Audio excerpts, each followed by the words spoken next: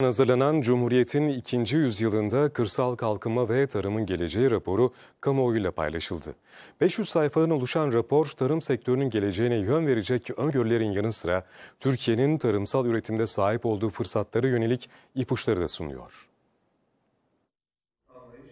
MÜSİAD Kırsal Kalkınma Komitesi'nin öncülüğünde hazırlanan ve tarım sektörünün nabzını tutan Cumhuriyet'in ikinci yüzyılında kırsal kalkınma ve tarımın geleceği raporu kamuoyuna duyuruldu. Alanında uzman 18 akademisyenin destek verdiği rapor 500 sayfadan oluşuyor. Çalışmayı A paraya değerlendiren MÜSİAD Genel Başkanı Abdurrahman Kaan, 2023 yılı tarım hedeflerinin Türkiye'nin üretim değerlerine sahip ilk 5 ülkeden biri olması olduğunu ifade etti.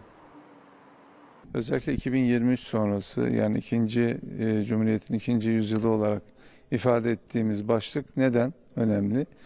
Burada artık dünyada e, tarımda müthiş ve tabii ki salgın hastalıkların e, ve iklim değişikliğinin getirdiği yeni bir yaşam tarzı e, ve buna yönelik olarak yeni üretim modelleri var. E, tabii bunu e, bilirken aynı zamanda nüfusumuz artıyor.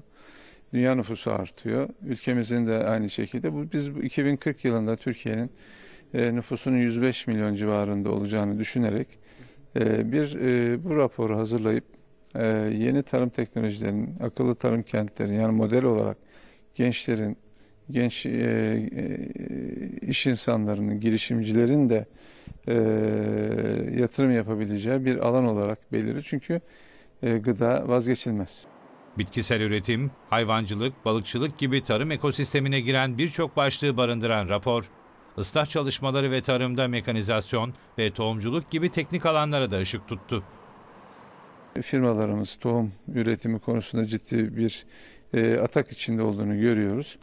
Yani 820 civarında olan e, firma sayımızda bir 200 artışla 1023 firmaya e, ulaşıldı. E, son 10 yılda ciddi bir ilerleme kaydettiğimizi söyleyebilirim. Yaklaşık %50 civarında e, bir üretim artışı olduğunu söyleyebilirim.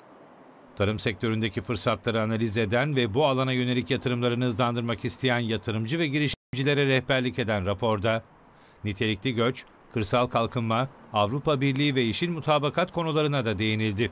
Geleceğe yönelik öneri ve stratejiler sektör paydaşlarını kapsayıcı bir şekilde ele alındı.